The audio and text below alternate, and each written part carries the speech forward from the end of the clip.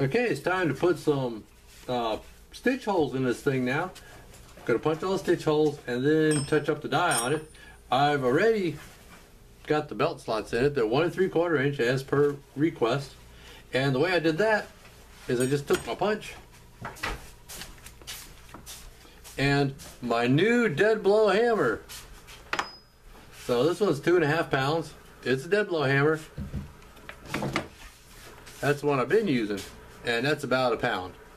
So I took my punch and I sharpened it and stropped it and got it nice and uh, well, nice and sharp, and it just banged it on through. A lot easier. And if you let the hammer do the work, then you're good to go. Now, I'm going to go ahead, take this one, and I'm going to mark off where my um, stitch holes go.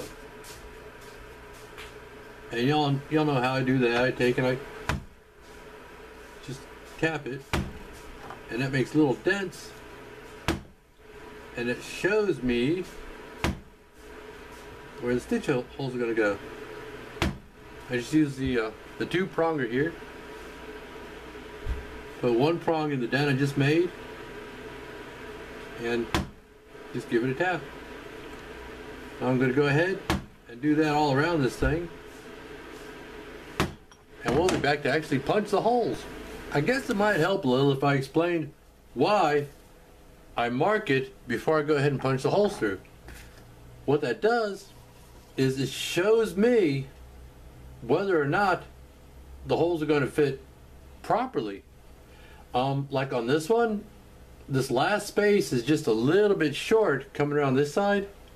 So I know that I'm going to have to either stretch out the stitching a little bit or compress it a little bit in order to get it to fit properly.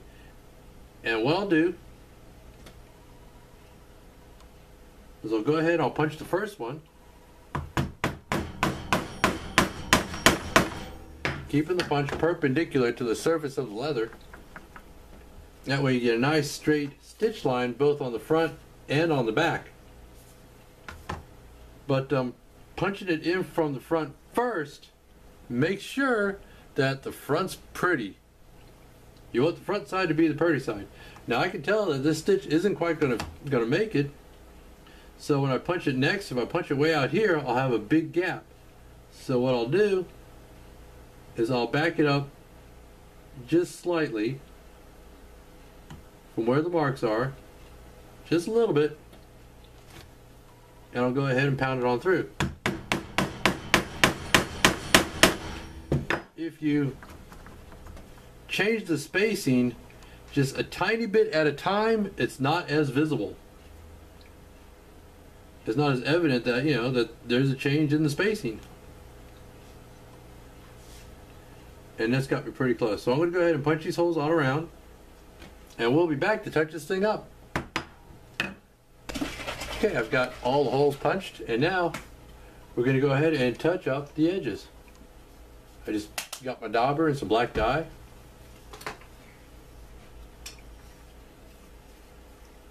Touch all that up.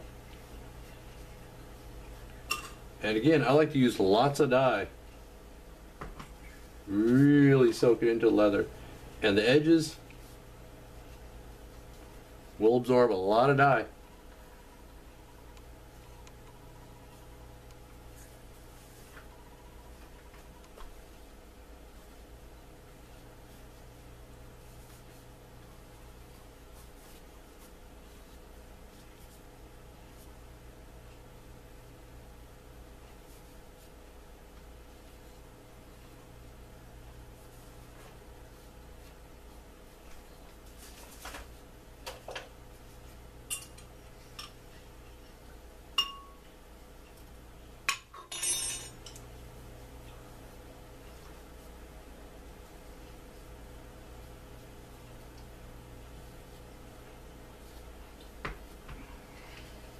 Now for inside the stitch groove, I'm just going to use this, actually it's a cheap little, eh, it's falling apart.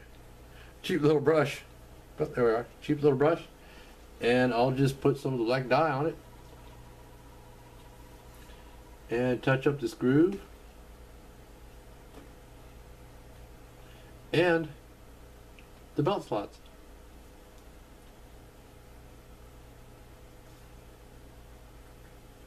And that'll be it for today. Let the dry, let the dye dry, and then we'll come back and uh, we'll stitch this thing, and then take care of burnishing those edges. See you then.